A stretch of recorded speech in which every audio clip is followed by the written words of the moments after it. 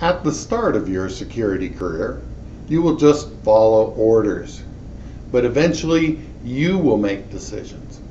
When you become a senior security professional, you need to understand the big picture.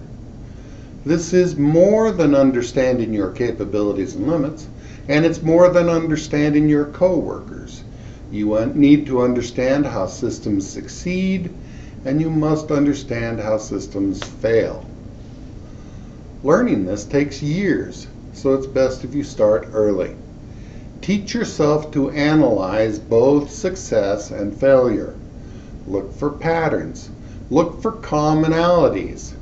And as you do, you should notice a few things. For example, systems almost always follow their incentives. It's hard to fix a broken system if the guys in charge benefit from the broken. And in our field,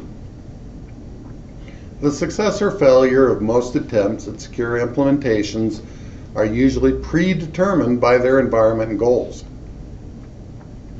Simple environments that protect short-lived stuff of low value are usually secure.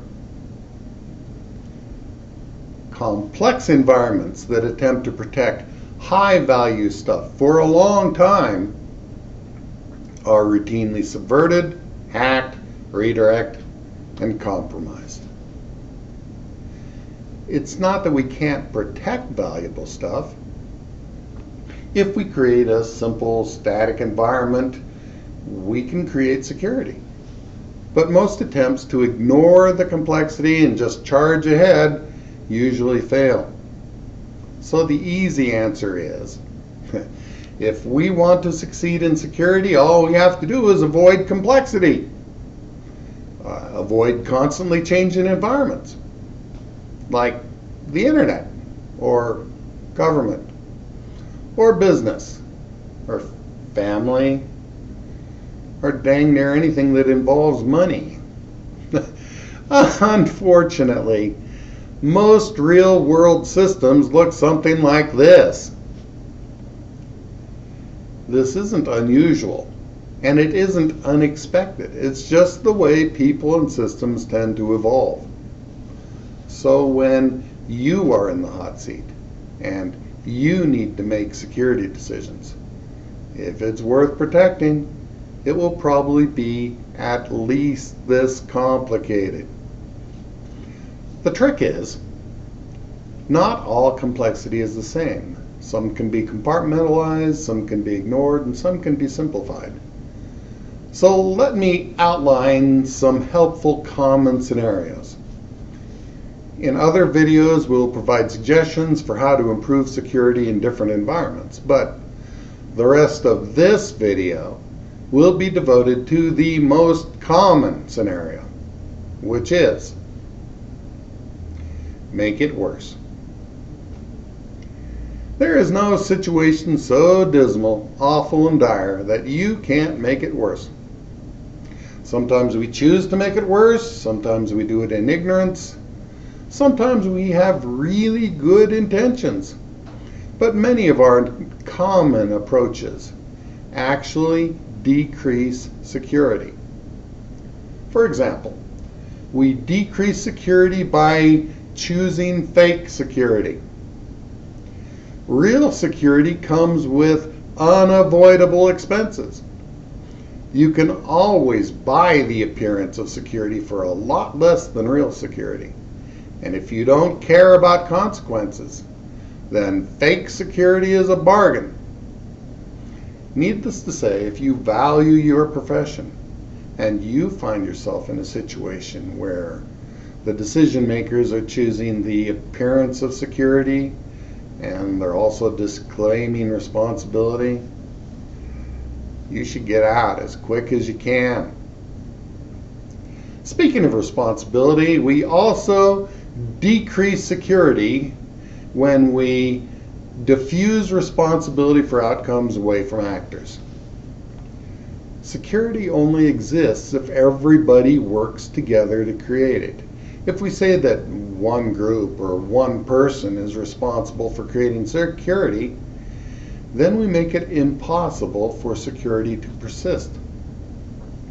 Just saying something like, I am responsible for security will greatly increase the likelihood of a security failure. The vast majority of security decisions are always made by others. Our most effective efforts will always be to help others make better security decisions. Another way to use this principle and decrease security is to choose to stop security efforts once we achieve regulatory compliance. We excuse it by saying that it is irresponsible to overdo security. But hmm, when we stop at regulatory compliance, we surrender our responsibility to create security. And at the same time, we blame some remote, unknowing, uncaring regulatory body for all our inevitable failures. Another common approach to decreasing security is to enable unfavorable outcomes. In IT, we are trained to create general systems and general solutions that freely interact to achieve almost any goal. But extreme capability destroys assurance and safety. Most of the possible outcomes are bad. In order to increase assurance, we have to eliminate unfavorable outcomes and we have to constrain behaviors. So we've actually decreased security if we stop once a critical system works the way we want. At that point, the system creates more attack surface and more attack incentive. You don't actually improve security until you go on and reduce the capability of the system to betray your interests. But that takes a lot of work. Finally, one of the best ways to decrease security is to fail to understand attack incentives. There are two battlefields in IT security. Beginning battles are waged against automated indiscriminate attack. These attacks begin when an attacker launches code against the internet. These attacks end, as, as far as you're concerned, when your defenses fail to respond in the way the attacker anticipated. One of your basic responsibilities is to know and prepare for the current level of automated attack. If you can't handle indiscriminate attack, then you have failed to achieve minimum acceptable security. Your systems will be compromised within days, if not hours. Almost all of our training teaches you how to prepare for untargeted, indiscriminate, automated attack. But the next battleground is targeted attack.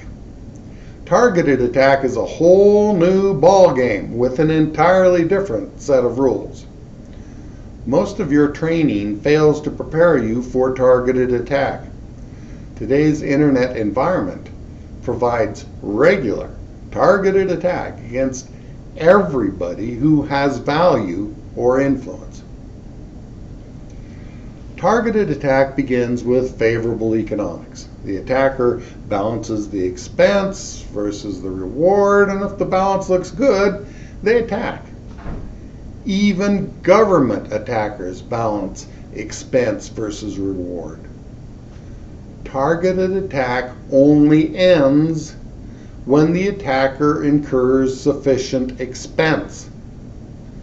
If the attacker is blocked one way, he'll try another and another and another. Eventually, he'll find some way you didn't anticipate. The only way to stop targeted attack is to degrade their reward calculation.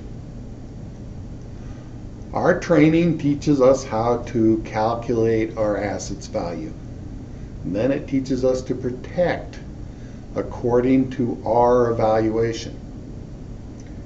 This seems like simple economics, but it greatly degrades our ability to defend against targeted attack. Selfish asset evaluation leaves us unable to predict or understand our attackers. To defend against targeted attack, you begin by calculating the value of your assets to your attackers. And usually the quickest, most effective defense against targeted attack is to reduce the perceived value of your assets. For example, the greatest security advance of the last decade has been the widespread deployment of perfect forward secrecy and transient session key keys. Before this change, web servers usually encrypted their traffic using their private key. Before, there was a huge reward for compromising a web server. Not only did you get everything on the web server, but you were able to decrypt all of its past and future traffic. This reward was so great that many governments were tempted into widespread compromise of web infrastructure. Perfect forward secrecy improved the security of all compliant web servers all at once by reducing the reward for a successful attack. Another example, our training teaches you to create a secure enclave and then gather your valuables together within the enclave. This makes it cheap and easy to defend against a wide range of automated attacks. Unfortunately, this approach usually makes targeted attack simple and extremely profitable. Once you understand attack incentives and attack costs, you can also defend against targeted attack by increasing the attacker's expenses. But that takes time and lots of effort. Finally, at my son's request, a parable I will give unto you. Once upon a time, there was a security professional who paid a crypto ransomware demand. He had many good reasons to pay the ransom, but the criminals used his money to attack more and more people. Later, the internet collapsed for many good reasons, and his family starved to death. Then this same security professional lived on by hunting down and eating fellow survivors. Again, he had many good reasons for his choices. As you advance in the security profession, you will learn that there are many good reasons for almost every security failure.